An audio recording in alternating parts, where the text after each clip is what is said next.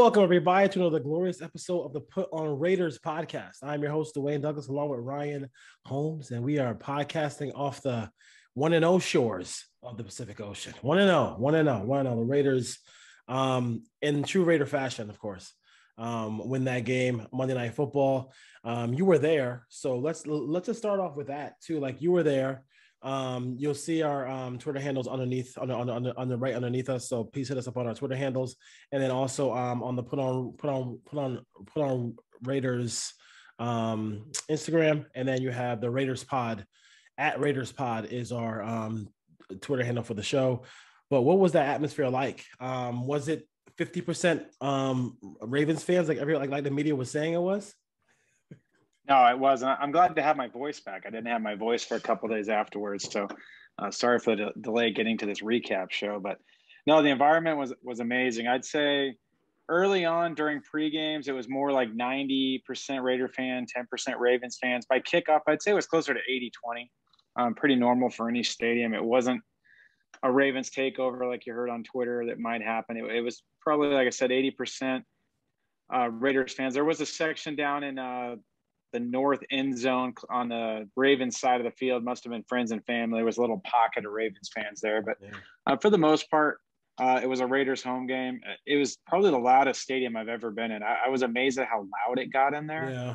Uh, I was really surprised the Ravens only got one false start penalty there in the game because I mean I, Mm-hmm. I, was couldn't even hear the person sitting next to me most of the game.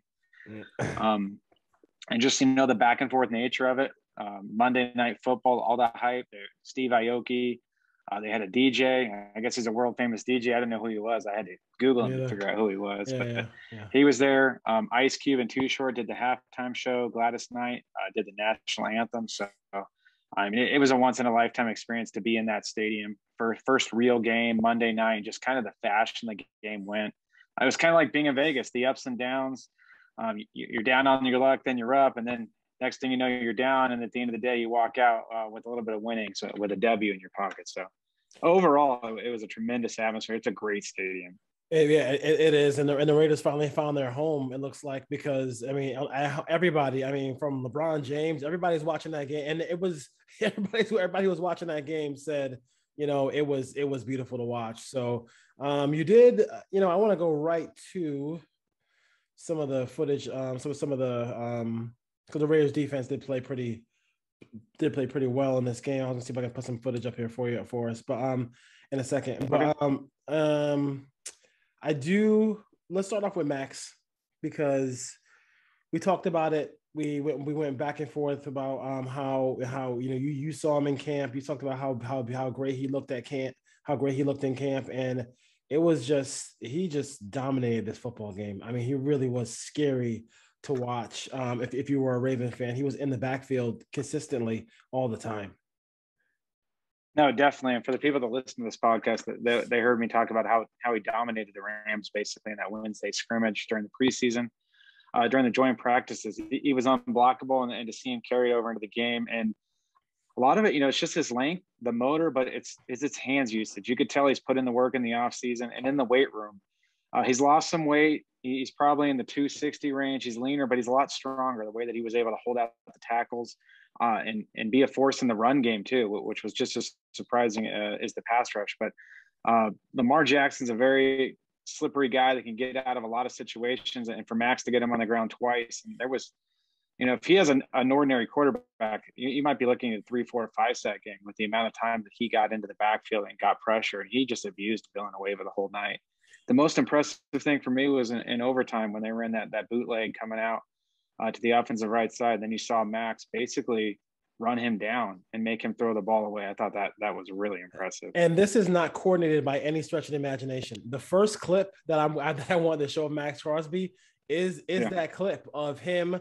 Um, they tried to do something here on the outside, and he was having none of it. Like I mean, look at that pursuit.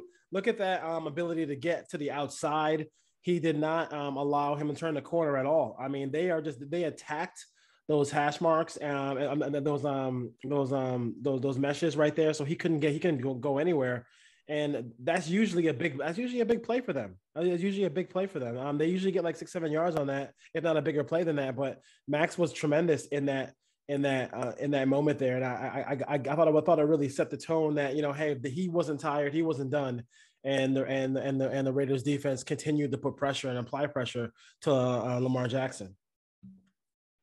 Definitely, I'll be the first one to say it. After last season, you know, Maxx didn't live up to the expectations that that I had for him and some people had for him, and you know, during the season, we didn't know that he had a broken hand and he needed shoulder surgery. He basically fought through multiple injuries. I, he didn't hold up very well in the run game last year. So to see the way that he came out and played in week one, if he can give you that effort for 17 weeks, this guy's going to the Pro Bowl. Whether it's this year or next year, it's going to be soon, uh, and he's going to get a monster contract from the Raiders. But um, just to just to see that the pursuit that he had for four quarters plus overtime, chasing Lamar Jackson around, uh, it's going to get a little bit easier for him. You know, trying to chase guys that aren't nearly as mobile coming up on the schedule. So I fully expect Maxx to be a force for the rest of the season.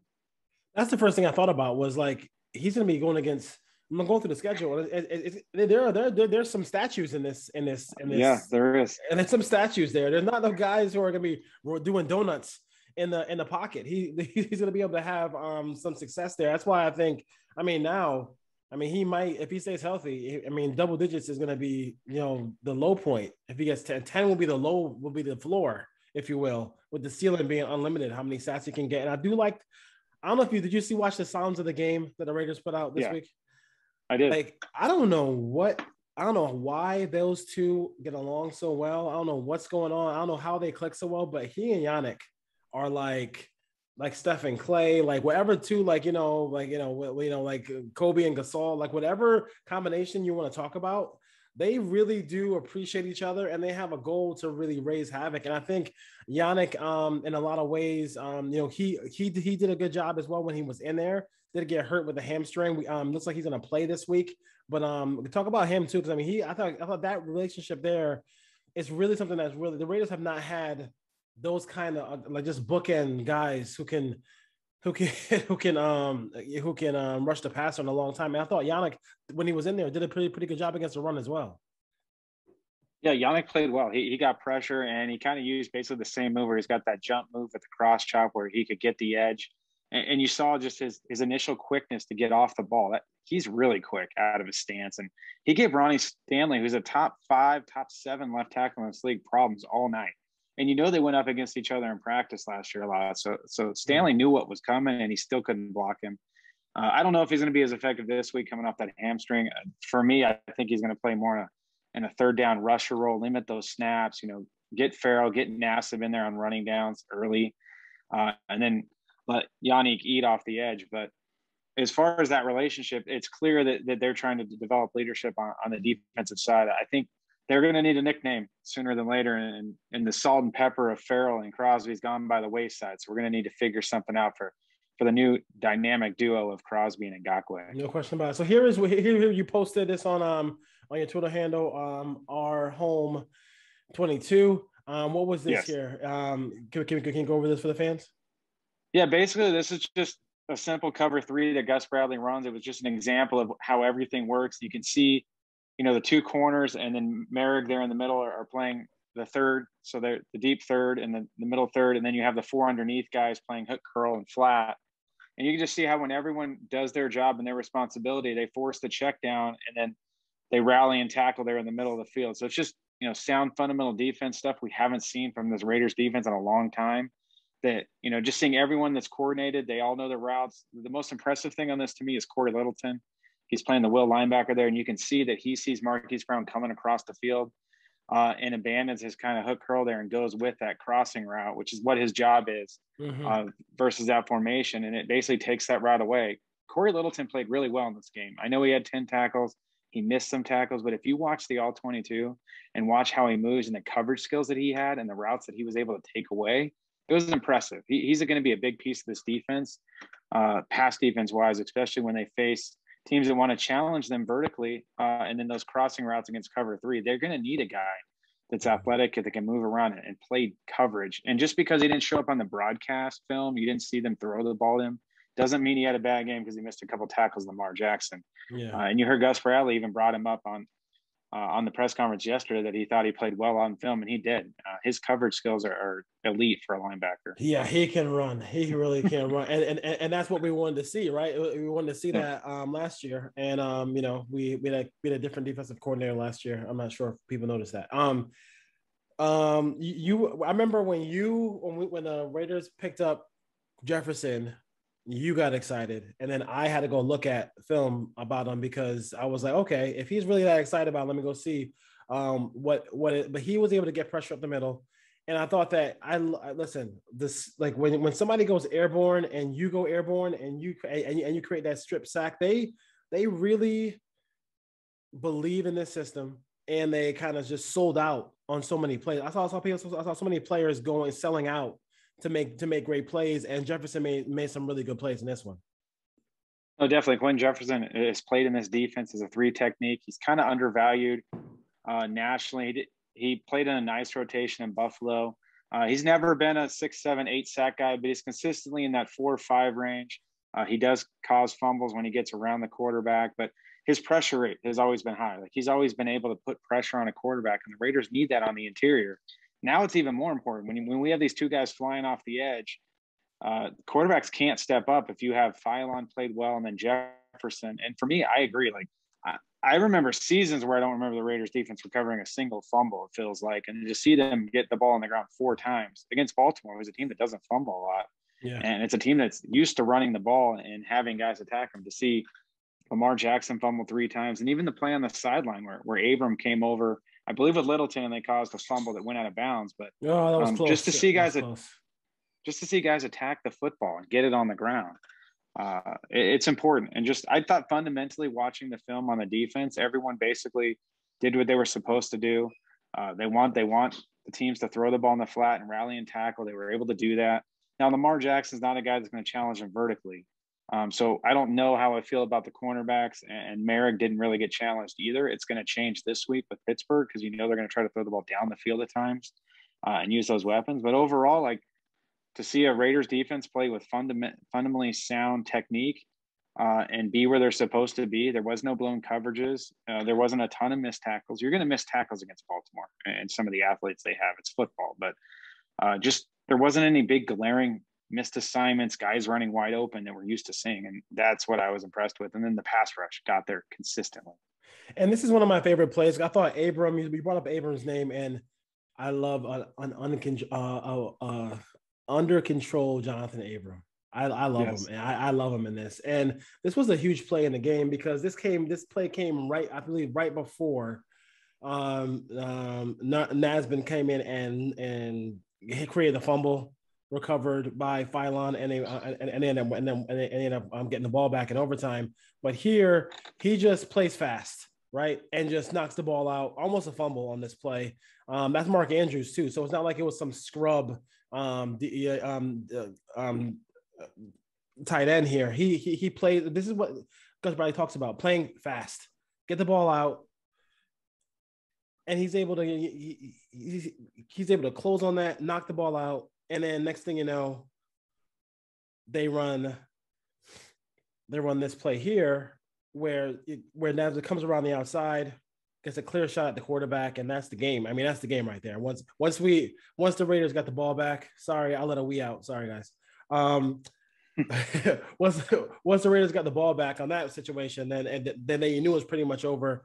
Um, you knew all you, you knew all you um, needed was um, a field goal and speaking of field goals, um, I mean, are we watching we're watching the second coming of Janikowski and Lechler. Like that was some serious punting. That was some serious. I mean, he is becoming pretty money.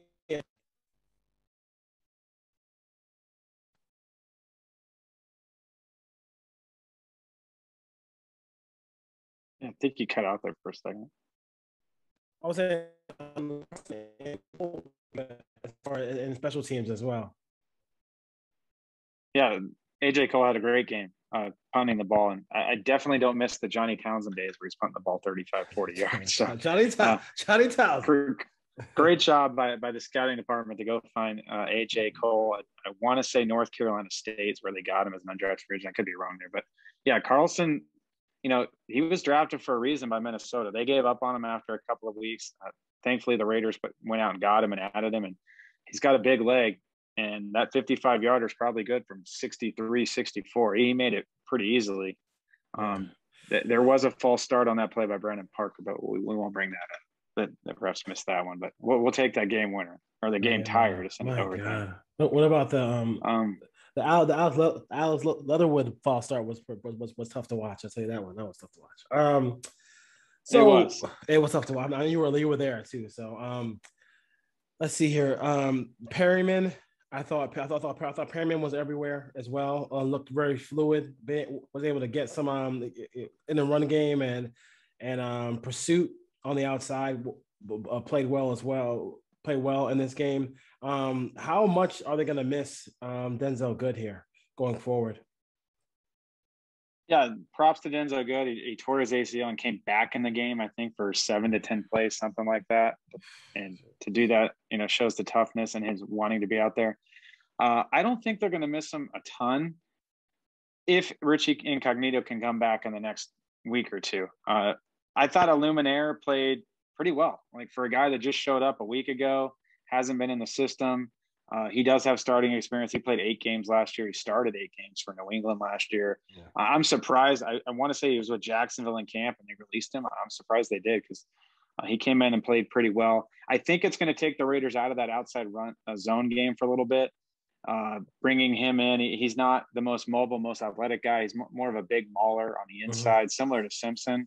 So I think we're going to see a lot more inside zone, inside running uh, which might be an issue with Andre James, but it's going to change the run game a little bit. But but I think they have enough depth to, to survive that as long as Incognito can come back and give them, you know, eight to ten games at some point during the season. I, I think they're gonna have to sign somebody else. I just, I just don't see Incognito. I, I mean, I, I love to see him come back because I mean they can do a lot of stuff with Incognito. I love when Incognito's on the same side as as Kolton Miller. They, they can do some good things there, but I just don't. I can't I can't hold my breath for that one. Hopefully he does come back, but I mean, uh, we'll, have, we'll have to see and um and, and, check and check the injury report to see if he'll be back. Um, what are your feelings about Drake? I thought Drake was as as advertised, really good outside, really good um out of the backfield. I this was a game where I wish Gruden had a couple of things in his arsenal in his toolkit, and one thing would be like just the screen.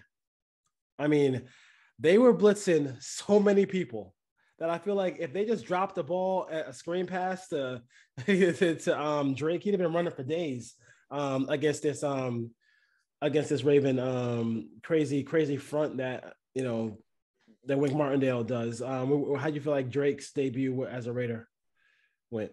I, I liked it. I thought he played really well. I I even said this the other day. I don't think the Raiders win that game if they don't have Kenyon Drake. The, the ability for him to pick up the blitz yeah. Uh, especially coming up the A gap and and to see his ability to constantly not only pick up the blitz but push the guy aside to give Derek Carr enough room to, to maneuver and get throws off.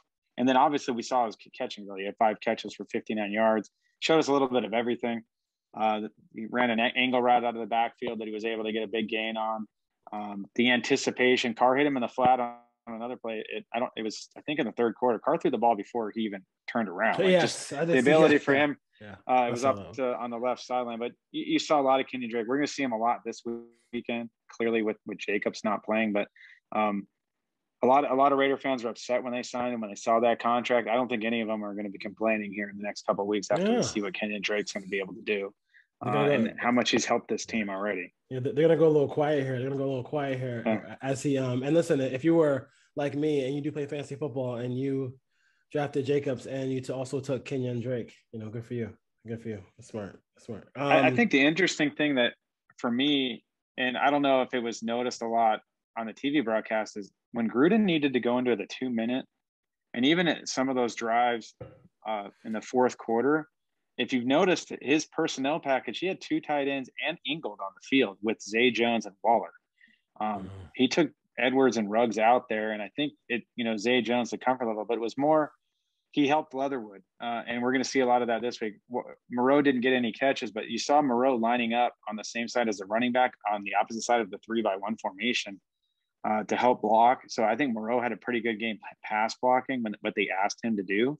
Mm-hmm. Um, but putting Ingold out wide actually helped them identify the coverages because they could see who was going out there and um, it, was impressive to see Carr just be able to pick up where all the, where everyone was coming from. They, they had seven, eight guys on the line of scrimmage constantly. Yeah. Um, and he was able, you know, the three sacks. One Leatherwood just got whipped. He got beat on one. One was uh, just a nice play by, by Patrick Queen. He did a great job on that play. Yeah, it, it, yeah. There's nothing you can do on that yeah. one. You tip your on that. Yeah, on that broadcast, it was funny because Carr was getting Carr was getting some heat, and then Griese was giving um, Carr props. And then immediately when that play happened, you heard Louis Riddick say, "Hey, uh, we think about um, what the quarterback's going through um, as well as defensive players. I hear they were going back. It was actually yeah. a good back and forth between Griese and and um and Riddick and, and Louis Riddick there. But yeah, I mean he that was a great play by Patrick Queen. That was a great. Nothing you could do about that. And and and he didn't he didn't fumble. He took the sack. I love I, I love when the sack is just taken and there's no there's no extra yeah. no extra stuff there by by Derek. Um, you know, the short yardage. Um, where's Zack Crockett when you need him? Um, I mean, they are really they are. I thought I thought I kind of I, I think Derek scored on that on, on that on that sneak, but um, I mean because they couldn't find the ball, they just second effort he he got in. They pushed yeah, him from behind. They, they pushed him from behind, yeah. but like it, it, it, wasn't clean. So I don't know. I mean, I, he said he's friends with Tom Brady. Figure uh, ask Tom how how Tom gets an end zone so clean uh, all those because because because Derek can't yeah. do it really well. And I just thought um you know we we spoke about the good part of the Raider victory. Um, you know, is Andre James, you know, that's something we gotta we gotta kind of talk to as well. Yeah, I mean, it was clear at the game, and then again when I watched the broadcast and the all twenty two, um, he's a liability in the run game right now. He, he he's you can see the thought process if they were going to run a lot of outside zone because there were times where he was able to get to the second level and make some blocks, especially on the Jacobs touchdown run. But you know what Baltimore did? They said we're going to put a nose tackle zero technique right on top of him and not allow him to do that. And then he just got bullied. He had a couple of holding penalties. Calais Campbell got him on that fourth and one, just whipped him with a swim move. Um, pass protection, he held up okay. Clearly, they wanted the running back to pick up the A gap, A gap blitzes uh, when they brought the backers. Um, but in the run game, he couldn't really get it going. And now when we, you have to go to the backup guards this week with Simpson and Eluemunor, it's going to be tough because those guys aren't really going to want to run outside zone behind them. Um, so if they're going to try to run the ball up the middle, they're going to have a hard time doing it with Andre James right now. It, his technique's not bad. It's more just, you know, his strength and his ability to move bigger body guys on the interior. He just hasn't done it. And, and to his credit, we are talking about Calais Campbell and Brandon Williams, who the 340 pound bowling yes, ball. Yes, Those are not easy guys to move, but it doesn't get any easier this week. I expect Pittsburgh to put uh, Cam Heyward right on top of uh, Andre James a majority of this game. We'll see if he can handle that because um, you can't really help him double. Now, Andre James, he's going to be better when he's not playing a zero technique. When when there's a three technique to both sides, and he can get to the second level, mm-hmm. uh, or maybe he's got a shade where the guard can help him on the double team, and then he can get to the second level. But when teams want to do a bare front, put a guy right on top of him, uh, he, he's not going to be able to hold up in the run game right now. Yeah, I mean, it's it's it's, an, it's, it's only start it's only start number two. So I'm not gonna go. I'm not gonna go. I'm not gonna go ham on the kid. Like you know what I mean. So um, he's obviously gonna be there for. The, it's gonna take a lot to get him off the field because yeah. that that contract. They believe in him. So so we'll see. Um, do you feel like? I mean, the times he got to the second level, do you? And, and there's times where he could just. Do you want to see your center just continue to block and just and just and just and just push and just like knock that linebacker out um, or do you want to see him just like kind of just like because it just seemed like, especially on the run that um that uh Jacobs had, it was sweet run, sweet run by Jacobs there. Um, he kind of just held up against Patrick Queen when he had a chance, like kind of kind of like he was just like kind of like like just getting his way where he could have just smashed yeah. him, you know. Yeah, I think there was times where he climbed too early to the second level and, and kind of when they were trying to do some double teams and then it got beat where he didn't stay long enough on it um, which kind of hurt the guard. But for me, yeah, you'd like to see a center get in there and bury that guy. But you know, if he just makes the block and gets in the way, I'm fine with that too. As yeah. long as the running back, you know, Jacobs made a nice cut off that to work back off oh, his hip to that, get inside. A, but that was, um, some, that was some Marcus Allen run right there. That was nice. Yeah. And in his in his defense, his pass protection, he held up pretty well in pass protection. You know, Carr was able to step up and make some throws in the pocket, uh, where James was able to give him some room. Um, I just think for a team that wants to run the ball as much as Gruden does right now, it's a liability inside. Yeah, uh, it's gonna be it's gonna be tough. It's gonna be tough to see what they do this week. Um, so I did I did well I did listen to a lot of people who cover the Steelers this week. So I'm gonna hold unless you have more on this game. I was, I was gonna flip. I was, I was gonna flip, kind of flip and talk about talk about Pittsburgh this week a little bit. But they're the people who fans think it's gonna be 27-3. They feel like it's gonna be a really close game, a really good game um, between the two teams, and the fact that their their top slot corner who used to come off blitzes and be their slot who really would do a good job against slot receivers is going to be missed because the Raiders have Hunter Renfrow. and they feel like the Raiders should, if they're going to run the ball on them, spread them out and run rather than try to run out of you know two tight end situations there. Um, what are your thoughts about you know? I saw I saw a little bit of Pittsburgh on all 22 this week. Um, you know, what are your thoughts about that? As far as as far as you know, the Raiders going from this game to the Steelers now, totally different opponent. Yeah, it's. I think Jacobs being out, it changes everything. So I, I don't think the Raiders are going to try to run the ball a ton. I don't think they're going to be able to run it a ton. Uh, I think you're going to see a lot of what you saw in the second half against Baltimore. They're going to spread them out. Um, I don't think they need to be as clever, like put Ingold out there, try to figure out if it's man or zone, because Pittsburgh's going to run zone. They're not going to run a ton of man. Um, so I think Zay Jones is going to be more involved this week. Uh, Moreau will probably be brought in to, to help block and help the edge. But the Raiders have to avoid being in third and long. They can't get in third and seven, third and 10, third and 12 uh, against this defense because they're not going to hold up. Cam Heyward, TJ Watt, those guys are going to get to the quarterback. So the key to this game is spread them out four or five wide, and you're going to see the dink and dunk show four or five yards. You want to work the middle of the field. Pittsburgh's notorious for having their linebacker stay on the field and try to cover slot receivers. So uh, I think you're going to have a big game out of Hunter Renfrow. Uh, they're going to be able to scheme up uh, Darren Waller in the middle of the field. Uh, I think you're going to have Kenyon Drake uh, working some routes in the middle of the field. I don't think you're going to see big explosive plays on the outside. Uh, they'll take their shots when the looks are there. If, if the safeties want to come down, um, Minkah Fitzpatrick uh, did a lot of, you know, being a robber or a rat hole defender last week against Buffalo. He'll probably continue to try to do that to get another defender in the middle of the field. Uh, and when that happens, they're going to have to take shots down the field because I do think that Ruggs and Edwards can can beat the corners for the Steelers. I'm not Joe Hayward to me or Joe Hayden. He's he's a good corner. He's an older guy. Doesn't run as well. Mm-hmm. Um, we can take chances against him, or the Raiders can. And then on the other side, Cam Sutton's a younger player. Uh, so I, I, think you're going to see that, but it's going to be a lot of underneath four or five yards, second and four, second and six. Just try to keep on schedule. And then if the Raiders can get into some third and shorts, third and two, third and four, then you can run some bunch formations with some rubs and some picks and do what they need to do to pick up first downs. But I think it's going to be a low scoring game. I don't think the Raiders are going to go out there and put up, you know, 30 plus points on this defense. It's going to be, I think it's going to be a little bit similar, maybe, maybe a little bit, a little, a little bit more high scoring than the Cleveland game last year because, because you, you won't, yeah. you, you, you won't have the, you won't have the weather elements that you had last year in that game. That game was crazy with the weather. This, I mean, if you're going to go to Pittsburgh, go now. You know, oh yeah, go go, go early, go early September. You don't have to really worry about that. Um, as, as far as that goes, um, what, what other notes do we have from the from the win against the win against the Ravens? Because the, I mean, I, I, obviously, um, you know, does a healthy scratch from Cleveland, Cleveland Ferrell does that, you know, with, with, with Nassib and, and some injuries on that D line? I think um also. Darius Philon got hurt as well. He might not play this week. Um, does does Cleveland make a reappearance for the Raiders here? Yeah, I fully expect him to be active. Um, it depends on the health of Ngakoue. I could see a scenario where he he plays outside and inside. Um, I think you're going to see him on some third down uh, rushes from the interior.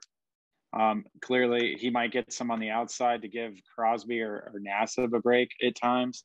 Um, but he's going to be active because if, if Yannick goes out there, if Ngakoue goes out there and, and pulls the hamstring in the first quarter, you got to have another defensive end that's up. And I don't think Koonce is ready for that. Uh, but but Ferrell, hopefully this lights a fire under him, and we see, you know, he's always given good effort. I'm not worried about the effort from him. Now it's about production. He needs to go out there, and, and clearly they thought Nassib was a better option. And, and through one week, Gus Bradley is probably right. Like he, he got to the quarterback, he held up in the run game. He was much better player week one than we saw last year. Uh, any point, any point last year. any, any point, point, last year. Any point last year. Uh, so. and, and and Bradley, it's just nice to see some of the adjustments he made. They ran the same coverage like ninety percent of this game. Like same guys lined up in the same spots, cover yeah. three. Uh, it was like, here's your responsibilities. The guy knows know what to do. But if you noticed late in the fourth quarter and then into overtime, a little bit more too high, some cover four looks. He blitzed twice in this game, and on, he got two sacks and a fumble on those two blitzes. Paul Guenther could have blitzed ten times in that game and never got near the quarterback and gave up three touchdowns. So, just, just the fact that you know the designs on those blitzes were really good. Um, you can do some cover one blitzes out out of a cover three defense because you're basically lining up the secondary the same way. Um, so, but this is the week I think we learn about the secondary. I think Roethlisberger is going to challenge those guys, and we're going to learn a lot about Nate Hobbs against Juju Smith-Schuster on the interior, and we're going to learn a lot about Tre'von Moehrig this week because he's going to have to cover down the field against you know Chase Claypool on some post routes, some deep routes, and then clearly uh, Diontae Johnson's a good player as well, and James Washington's not a slouch as a fourth receiver either. Yeah, I mean they're going to have. I mean I'm not sure. It's so funny how the cold weather Steelers are basically probably the best team in the history of the National Football League at drafting wide receivers. Like I cannot think of a, I cannot think of an organization that has done a better job at drafting wide receivers than the Pittsburgh Steelers. They just my entire life they've had great um, wide receiver um, wide receiver play. Um, it, has been incredible. It's been incredible as far as far as, I will mention goes. this too. Like I watched that Pittsburgh Buffalo game last week, and Buffalo or Pittsburgh's offense got shut out in the first half. Roethlisberger doesn't look like he has near the same arm strength he used to have. Um, he'll take some shots down the field, but not nearly as much. He's getting rid of the ball in two, 2.1, 2.2 seconds. It's a lot of short underneath stuff uh, and letting those guys run. So the Raiders are going to have to rally and tackle. They, they can't go out there and miss tackles this week. Let them catch the ball and get them on the ground. Yeah, yeah. Well, they're playing. They're playing a, a defense that, that they look very comfortable in, as, as far as that goes. They look very comfortable um, in that in that game as far as far as that goes. Um, Gruden, you know, EPMD used to have a song called "Total Chaos, Mass Confusion," and at the end of some of these games, it feels like he is not the heartbeat is not slow. He doesn't. He's not in command of what's going on. Like I mean, the whole like field goal unit, not no field goal unit. Um, you know, after after what we thought Edwards did as far as um, winning the game, he didn't win the game. Okay, fine, guy. You pull everybody over, and if you got to call timeout, hey guys, timeout. Let's just go win the game on the one yard line. Like it just seemed like everything was all chaotic. Did it feel that way in the stadium as well? It did. In the stadium when, he scored it erupted. They went crazy. Uh, we didn't hear in the stadium there was an announcement. It was under review. So to, to, us in the stadium we just saw the players on the field shaking hands and we're like oh this game's over. Uh, and then when he when they did make the announcement that it was overturned uh, when they showed it they finally showed it on the big screen. But for there was a couple minutes there where everyone in the stadium thought the game was over. Um, but to come out you know you have a fullback you you have 23 personnel you have jacobs like quarterback sneak fine but uh, I think clearly the false starts would kill it. They probably were going to run the ball four times there uh, and try to win that game. But then he puts Willie Snead in. Great design. He was wide open. Willie Snead played two snaps the whole game. Like if you're going to draw that up, throw it to Renfrow. Um, there was some pressure. Uh, Eluemunor got beat there. Carr had to get rid of it pretty quickly. Put some steam on it. it I'm not going to fall into oh it was a drop camp like a lot of the people in the stadium were saying. It was he threw that thing with some mustard on it. it was pretty pretty high and outside uh, the, the, frame there. He could have put it on him, but again, he, he, was under pressure. But why why draw that up for Willie Snead right there? The guy the guy hasn't played the whole game. He, he's your smallest receiver, basically. I, I don't get it. Um, that's thinking way too much. That that, that was in my mind. That, that was just like you know you can run that for for running for Moreau, Moreau. like you know I mean running for somebody. I mean yeah. the play was the play was per, per perfect. It kind of reminded me of the play that they used. It wasn't the same play, but the same play they used to beat Pittsburgh not too long ago. Um, um, where where Carrier had the game winner at the end. Yeah. Um, so and, and to be honest, they didn't show this in the replay on that field goal. Daniel Carlson was warming up on the net on the far end of the field he wasn't on the same side of the field as the offense was. So I don't know if he got the call. It was second down. So as a kicker, you know, as a kicker, it goes through your mind, hey, third down, maybe I run out there, drop snap, we have an opportunity to get on fourth down. He probably never occurred to him that they were going to kick it on second. And uh, they couldn't find him is what happened. Like everyone in the stadium, and everyone in the stadium knew they didn't have any timeouts. We're like, what's going on here? And thankfully they they took the delay of game. They didn't try to snap it and, and miss it and have chaos with three or four seconds left on the shot clock. So credit to the, the field goal unit to not go out there and actually snap and try it in panic mode. But at the same time, you, that that can't happen. You're going to lose games with decisions that happen like that. Yeah, yeah, that was way that was way too much. That, that, that, that was absolutely way too much going on there, and I just felt like you. I thought that was just time, like just to call timeout. Hey guys, we're at the one yard line. We're, we're, we're at the one yard line. Let's go out here and um and um and, and go out there and um and, and win that game. So I don't have any more notes for that for, for the game as far as that goes um, on the Pittsburgh, and we talked about that a, a, little bit. Um, let's finish up with that. I mean, um, I did not think the I, I thought I thought it almost happened. I thought the Raiders were going to you know, be a, a, it would be a close game, and then Lamar Jackson would make one play that we would all be crying about um, all week, and then um, the Raiders would lose. They didn't. They did not lose. They won that game. They they, they, they took it from them. I mean, they forced those turnovers. They did some turnovers that are that are giveaways um, like like the Carr interception, the low, low giveaway. But the Raiders took the football away from this team um, on a couple occasions here. What are your thoughts about this team going to Pittsburgh? I think they can really the defense again. I mean, they have an opportunity to win this game, to win this game out here because you know this is just take a just take a um, notes from what Buffalo did. I mean, they still shut them out for a half. I mean, that's pretty good. That's pretty good defensive work right there. And if the Raiders will shut somebody out for a half, that that's a good that's a good sign for them. Yeah, this this Baltimore game to finish the comments. Um, Lamar did have that run with about a minute and 45 seconds left. We had that 30 yard run, 28 yard run to put him basically in field goal range. Um, credit to the defense for stopping him on that third down rollout. Because if, if Lamar Jackson gets a first down there, the game's over. They're yeah. going to run the clock out and kick it at zero zero. So props to the defense. And if you watch that play, it's really KJ Wright and Denzel Perryman who understand who to cover in the flat there. And then everyone was able to rally and get to Jackson. So um, that goes unnoticed. But watching the replay, like KJ Wright basically made that play by staying on the fullback and not running straight to Lamar Jackson and trusting that his teammates were coming.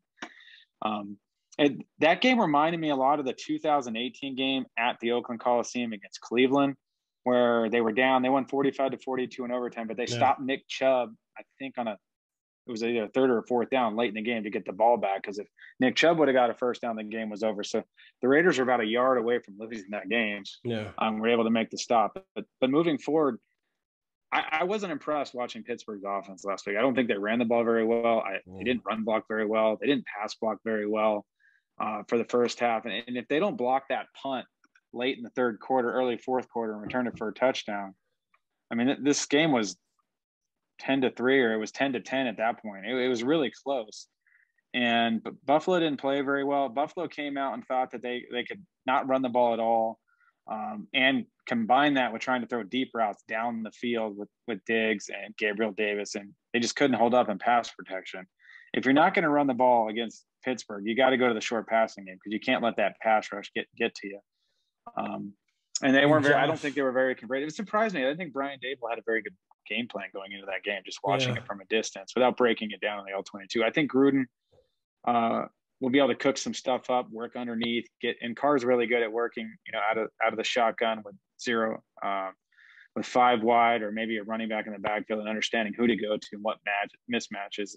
It's going to be a lot of, like I said, four, five, six yard passes. Some Raider fans might get upset, but that's the way they're going to have to move the ball against them and then take your shots when they're there. I, I do think if the Raiders can avoid some holding penalties and getting into some long down and distance and not turn the ball over, that's going to be the key. They can't turn the ball over. So if, if they can minimize the holding penalties and not turn the ball over, run it when they need to, they have a chance to go on the road and win this game because I, I don't think Pittsburgh's offense is anywhere near uh, as good as people are making out to be after watching that game. So I think it's going to be a close game, though. I think it's going to come down to you know, field goal three or four points. Now remember Heinz Field, when you kick to the open end, it's very difficult to make, you know, 45, 50 yard field goals are just kind of how the wind works. Hopefully it's not yeah. very windy, but the kicking game could become an issue here uh, if you're kicking to that open end of the stadium. But um, I don't know if you want me to give you a prediction, but I, I, I do have one for you this week. I'm sure you do. Go ahead. Well, we, we said last week this isn't a homer show. This is a very difficult game. The Raiders are missing a ton of guys. They're dinged up. It's they played an overtime game week one against Buffalo or uh, Baltimore. They got to travel across the country for a 10 o'clock game. They do have a chance to win this game, but I'm going to think Pittsburgh's defense just going to be the pass rush is going to be a little bit too much. I don't think the Raiders are going to establish a run game. Low scoring though. I'm going to say 20, 20 to 17. Pittsburgh wins on a field goal late. Yeah, I, I think that the Raiders get off to a really good start in this game, and then they feel the effects of the short week, the travel, and maybe in the second half, and then um, they make. I mean, listen, I, I think they could they could easily play this game again in the playoffs, and the Raiders win it because the Raiders the Raiders just be better at that point. But I just I just like the timing of it. It, it. Even if it was a four o'clock start, I would give the Raiders more of a chance. Um, just to give a little bit more time. Um, you come off an overtime victory as well. So they are one, like I said, I think what the Raven win gave them is an opportunity in the first quarter of the season to be three and one. It's a possibility now. So I really like that um, possibility. And if they win this one, then, then they're really going to be on their way. But I, I, I just see a close loss. I just see a close loss here. Um, we'll go 23 20, um, you know, late field goal. Um, but it, it, it's a loss that'll probably hurt. But, you know, the Raiders will, uh, I think they'll bounce back when they play Miami um, at home the following week.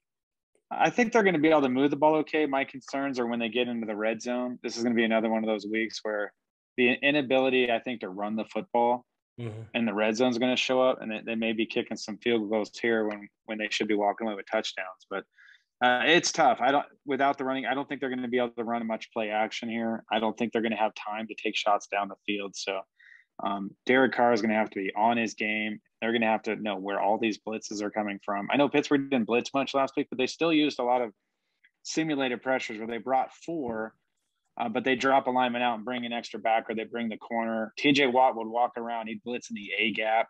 Those don't go down technically as blitzes because it's only a four man rush, but they are. They're simulated pressures. So um, Pittsburgh's going to cook some stuff up, and they're going to I they're going to target Andre James and Eluemunor for sure. And then you have Leatherwood's a rookie, so that right side of the offensive line, you're going to see a lot of overload, exotic looks, and they're going to bring it. Yeah. Because um, I think they're going to be able to hold up because they know that um, unless Carr just comes out and throws a couple bombs early to try to back them out of that and connect on them like they did against Kansas City. Because I think they're going to do a lot of that. You're going to see the free safety. Fitzpatrick's going to drop down in the box, a lot of rat or robber coverage, and they're going to force the Raiders to try to throw it over the top. So we'll see if they actually try and if they can do. Baltimore tried. Like they in the first half, it was literally man on man. We're going to bracket Waller with the safety, a single high look, 90% of the time, and they didn't really start trying to take advantage of that to the second half. Yeah. Well, we'll see. We'll see what happens as far as that goes. Um, uh, a, tough game this week, and, and they can they listen. They they started the Raiders have to become a really good home team. They did that already. I said, you know, they got nine home games. Go seven and two. You're halfway. You're halfway there for the playoffs, and and then after that, we'll take some road games and see what happens as far as that goes. Um, put on put on Raiders podcast. Uh, that's pretty much it, folks. Um, we'll see you next time.